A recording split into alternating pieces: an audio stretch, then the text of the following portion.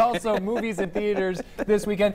You know, you might stay in the house to cook dinner, but if you do want to leave the house, there's a couple options. There's no bacon at the theaters, though. That's true. They should sell that with the popcorn. we got Jason Bateman and Melissa McCarthy who square off, and also a medical thriller this week at theaters. Yes. If I had to guess, this is the person who stole your identity. Sandy Bigelow, Patterson. Jason Bateman and Melissa McCarthy lead the cast of Identity Thief, a comedy in which a regular guy is forced to extreme measures to clear his name after his identity is stolen by a woman who's using his bank account to fund her shopping spree. Before his world implodes, he heads south to confront the woman with an all access pass to his life. It also stars Jon Favreau, Amanda Peet, Morris Chestnut, John Cho, and Robert Patrick.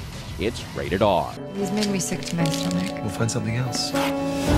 Jude Law, Rooney Mara, Catherine Zeta Jones, and Channing Tatum star in Side Effects, an R rated thriller about a successful New York couple whose world unravels when a new drug intended to treat anxiety has unexpected side effects.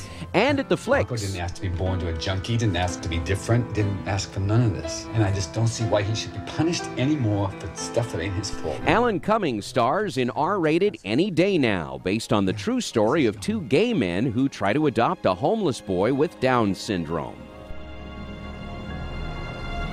For my reviews, a look at this week's DVD and Blu-ray releases and more, head over to my website, bobrichardsmoviereviews.com, or link to it at idahoonyourside.com. So you got three options, at, at least here in Idaho, and a wide range as well, from the drama to the comedy That's to right. some of the more, it looks like it might be more emotional over at the flicks Mm-hmm. this weekend. All right, thanks a lot, Bob. We're looking forward to those reviews on Monday.